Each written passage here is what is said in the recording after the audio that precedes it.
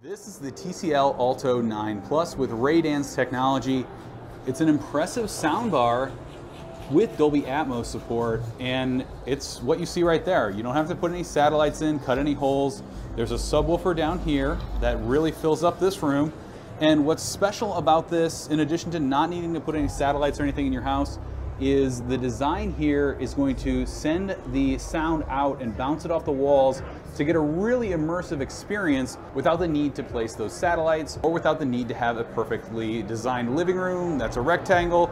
So I love good audio. We watch most of our TV and content in our living room, but it's an open floor plan and it's not that great for putting satellite speakers or anything like that in.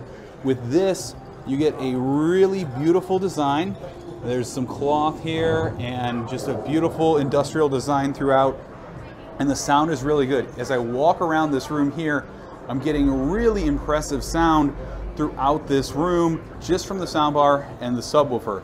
Now, pricing on this isn't totally official yet, but I've heard that it's going to be around 399 here in the US, and that's pretty impressive for a Dolby Atmos speaker. The ability of this to fill this room is really impressive. So definitely looking forward to hearing how this sounds in a house like ours where not everything is perfect.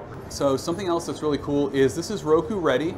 So when it's plugged into a TV like this one from TCL, you're going to get to see all of your options up on screen so you can make those adjustments without just relying on a soundbar remote that might have no menu to see, some flashing lights. This gives you total control and you can quickly toggle through different modes much easier than you could on a lot of budget soundbars.